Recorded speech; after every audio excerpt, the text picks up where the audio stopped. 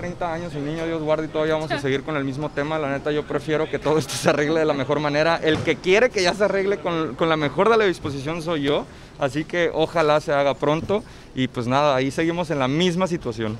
¿Tú qué consejo le das para, para esta situación que tiene? La con verdad los que no me gusta meterme en un tema que no me corresponde, pero lo voy a apoyar siempre en cualquier tema.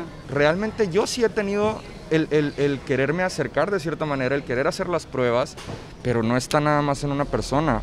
Si es, claro que se va a apoyar, me explico, eso es algo ilógico, pero el tener esa barrera no es el niño, aquí el problema no es el niño, el problema aquí es la otra persona. Y yo creo que eso ha hecho todo este ambiente súper negativo, el, el que hablen tanta cagada de mí, el que me señale de una manera. Yo la verdad nunca voy a hablar de una mujer, yo no le voy a tirar nunca, porque si sí llega a ser, imagínate cómo va a ver el niño esas entrevistas en un futuro, Dios guarde. Yo prefiero quedarme calladito, me veo más bonito, y si sí lo es, tomar los huevos que se me corresponde tomar y darle para adelante con un apoyo como se debe apoyar, pero el problema ahí no es él, y yo siempre lo he dicho. Si en dado caso que no fuera tu hijo, tú eh, este, Uy.